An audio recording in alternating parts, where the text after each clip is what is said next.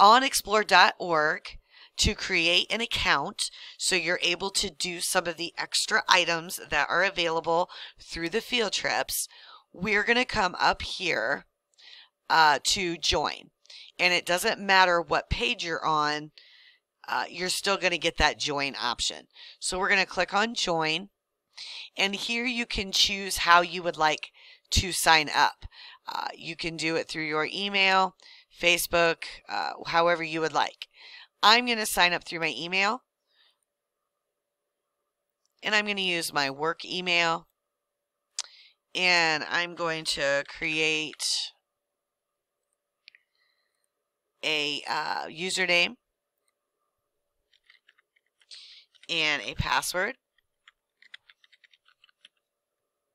I need to agree to their terms or I can't get in. And I'm going to sign up. Uh, let's see, it wants me to add a photo. Um, I will just do that later. Thank you for signing up. And they even sent me an email already um, thanking me for subscribing.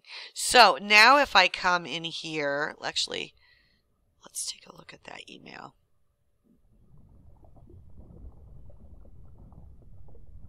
And see what exactly it says. Um, okay, so if I am in my email, doo. Okay.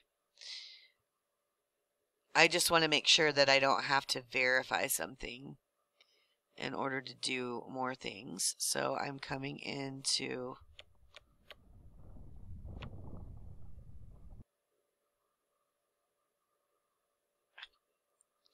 I must push the wrong thing. Okay, explore.org.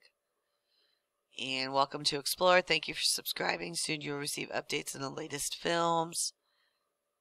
Never stop learning. Perfect. So now I am in. So now I am going to come in here.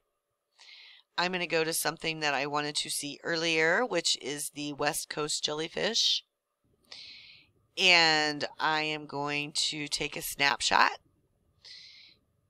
and from here I can save and download it, send it in a comment, uh, put it in my gallery. So there's my snapshot. Okay, so how do I get out of my snapshot? I guess I just close it close that. I can go to my gallery.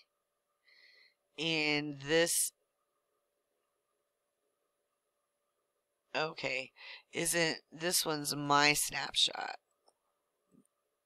But these are snapshots that people have taken. So my gallery, there's that snapshot I just took.